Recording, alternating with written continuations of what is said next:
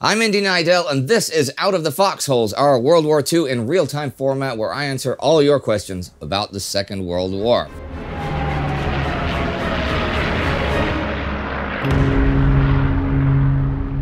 Uh, Yaro Katowski asks, how did Alexander Kerensky react towards the invasion of the Soviet Union? Um, well, those of you who've been with me since the Great War certainly know who Alexander Kerensky is. But for those of you that don't, he was a Russian socialist politician who plays a part in the February Revolution in 1917 that overthrows Tsar Nicholas II. Uh, from July that same year, he heads the troubled provisional government as prime minister until his government is overthrown by the November Revolution. Kerensky manages to flee the Bolsheviks and after a failed attempt to rally forces behind him, exiles himself first to London and then to Paris. Kerensky does not involve himself in the Russian Civil War, supporting none of the various factions. He does openly criticize the Soviet regime, though, and remains an outspoken proponent for Russian parliamentary democracy. From his exile in France, Kerensky leads a propaganda campaign against Joseph Stalin, editing the anti Bolshevik Russian newspapers Dni and Novaya Russia.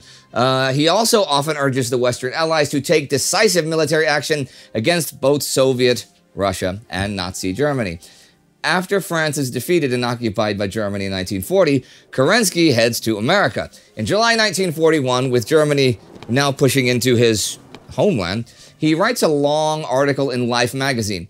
In the article, he analyzes the Soviet position. 23 years after her humiliation at Brest-Litovsk, Russia is confronted with the threat of a gigantic new capitulation and dismemberment. The threat can be parried only if the Red Army can resist till the autumn rains, that is to say, for at least three months. Although he still denounces Joseph Stalin, calling his rule the terrible destruction of my nation's moral and material powers, he does voice support against Nazi Germany. It is in the light of that tragic experience that today I not only wish the Red Army success, but even stand ready to help the Kremlin as best I can Every Russian must assume full responsibility before his nation at the moment when her people's eyes are open and they perceive the chasm at the brink of which they are standing. A similar article also appears in the New York Times, that one also calling for the Western democracies of Britain and the US to support Soviet Russia. Nevertheless, Kerensky's offer of his own help is never taken up, and he spends the rest of the war in New York City. Now, before anybody writes in, I said the uh, I said the February Revolution and the November Revolution. I should stick to one calendar or the other. I should have either said the March Revolution and the November Revolution, or the February and October, depending if I was using the Gregorian calendar or the Julian calendar, because Russia back then did not use the same calendar as Western Europe. Anyhow, uh, Aiden F asks, "How were French musicians working during the war?" Well, this is a really big topic. To make it manageable, I'm just going to talk about the classical musicians and the really famous popular musicians. Things like jazz music and the resistance music, I suppose we should spend some time on later. We should do specials on that later, guys. Okay, yeah. When France falls in 1940, the fate of many of its musicians becomes very uncertain. Though a lot of classical musicians are actually able to continue their work at companies like the Opera de Paris. See, the Nazis want to woo the French upper classes and have them accept the new regime, so they allow opera houses to keep running. Adolf Hitler even visits the Opera de Paris during his visit in June 1940. However, for propaganda reasons, uh, they stipulate Germanic composers in the opera programs, demanding that the music of Mozart, Beethoven, and Wagner be played. Uh, in March 1941, they hold a lengthy festival of German music at the Opera de Paris. They fill the opera with swastikas and, and with German flags, and prominent German guests attend the festivities, which of course celebrate the classical works of some of Germany's most famous composers. Philippe Pétain and the Vichy state have ideas along similar lines. They revive famed French composers like Claude Debussy as part of a nationalist music renaissance. Of course, the works of Jewish composers are banned in both the occupied and the Vichy zones, and Jewish musicians are fired. The manager of the Paris Opera, Jacques Rouché, is forced to fire 30 of his Jewish employees in 1940. Being a wealthy man, he continues funding their salaries out of his own pocket until 1942.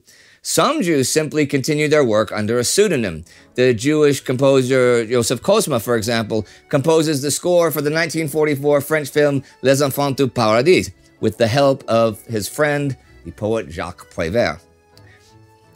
One of the grand voices in French music history, well, Edith Piaf's career actually blossoms during the occupation. She often performs in Berlin as well as back in many of the prestigious Paris nightclubs.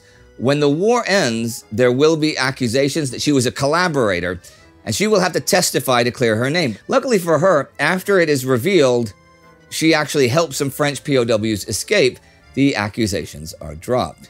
Um, Charles Aznavour, who will one day be called France's Frank Sinatra, also assists people in escaping. His family hides many Jews in their Parisian flat. Likewise, Maurice Chevalier entertains with songs promising that everything is perfectly all right under the German occupation while hiding a Jewish family himself. Uh, Przemek Witkowski asks, how did Germans get to Africa in 1940? Well, first of all, I'd like to clarify, although the North African campaign begins in 1940, the first elements of the German Africa Corps only start arriving in North Africa in February 1941. Under the command of General Erwin Rommel, German troops then begin their journey to the African continent. The operation to send them there is codenamed Sonnenblume, something Hitler has had prepared for a long time. Fliegerkorps 10 has already been sent from Norway to Sicily, and it seriously threatens British naval dominance in the Mediterranean. This is over 300 German planes viciously bombing both Allied supply convoys and the island of Malta. In the meantime, German soldiers are sent to the Italian ports of, of Naples and Palermo. On February 8th, the first wave leaves in transport ships flanked by Italian destroyers and with German fighters. They arrive three days later in Tripoli, a day before Rommel himself arrives by plane. Now, that's mainly infantry units, but there's a second wave of trucks, heavy equipment, and anti tank guns who are sent not long afterwards. On February 18th, a sufficient number of troops have arrived in Tripoli, and Rommel officially forms the 5th Light Division and creates the Africa Corps the day after. On the 20th, though, a German convoy is seriously threatened as Allied warships open fire. All the ships survive, but one of them has to be towed the rest of the way to Libya. Around the same time, Rommel realizes he needs more tanks. So in early March, the 5th Panzer Regiment crosses the Mediterranean in four transport ships as well. German High Command, in fact, promises Rommel the 15th Panzer Division. This division arrives in two waves in late April and early May, at a time when Rommel has already captured Cyrenaica and has the Allies under siege at Tobruk. Well, that is it for today. But if you'd like to know about the Russian Civil War that Kerensky kept himself out of, you can watch our Between Two Wars episode on that right here. And the reason why I'm able to sit here in my chair of infinite knowledge is because of the amazing TimeGhost Army and the TimeGhost Army support. So join the TimeGhost Army at patreon.com or timeghost.tv. And importantly, if you would like me to answer your question, don't just put it in the comments. Post it at community.timeghost.tv. And then it might actually become on come on this show because if you just put it in the comments, we'll get hundreds of questions and it'll get lost in the shuffle. So uh, somebody else might read it and they might say, "Hey, that's a great question," but I won't answer it. See you next time.